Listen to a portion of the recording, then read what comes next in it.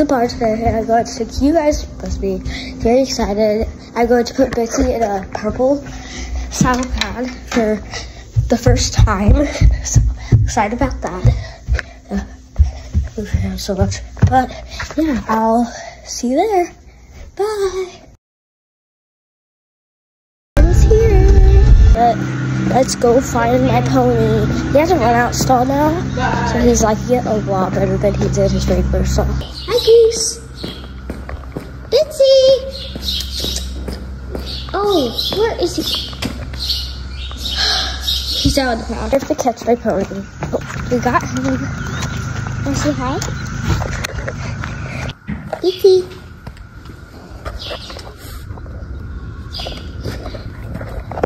He's Hi. He has a little bit of mud on him. Hi, Goose. That's just pony. It's Icky Pony.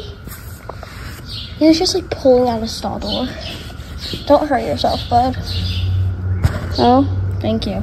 Oh, Maybell, hi. Hi.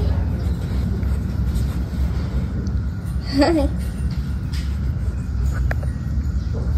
Goes home, jumps on the couch. my attack, but Bitsy was not wanting us to pick his hooves. I got kicked a little bit on my, my leg. Um, that did not feel good. He didn't do it on purpose, so his Bitsy didn't want to. But I did get my tack out now from my locker. Bitsy. Hi.